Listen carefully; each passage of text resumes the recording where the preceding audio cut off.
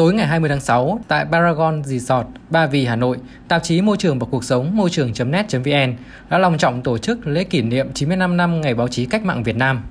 Tham dự lễ kỷ niệm có bà Phạm Thị Xuân, Phó Chủ tịch Trung ương Hội Nước sạch và Môi trường Việt Nam, ông Nguyễn Xuân Lai, Tổng thư ký Trung ương Hội Nước sạch và Môi trường Việt Nam, ông Nguyễn Văn Toàn, Tổng biên tập tạp chí Môi trường và Cuộc sống, ông Bạch Công Tiến, Phó Bí thư huyện ủy, Chủ tịch Ủy ban dân huyện Ba Vì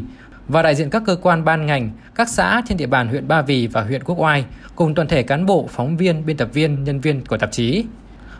Buổi lễ diễn ra nhằm tôn vinh và ghi nhận cho sự nỗ lực phấn đấu của các phóng viên, nhà báo nói chung và tạp chí Môi trường và Cuộc sống nói riêng – trong suốt thời gian hoạt động của tạp chí Môi trường và Cuộc sống đã tích cực đưa những thông tin hữu ích, phản ánh kịp thời. Từ đó, tạp chí Môi trường và Cuộc sống đã trở thành một kênh thông tin đáng tin cậy và hữu hiệu đến với người dân cũng như chính quyền các cấp. Buổi lễ diễn ra còn là cơ hội để cho tạp chí nhìn nhận lại chặng đường đã qua. Từ đó, sẽ cố gắng và nỗ lực hơn nữa trong công tác tuyên truyền, truyền tải thông tin nhanh, chính xác đến cho độc giả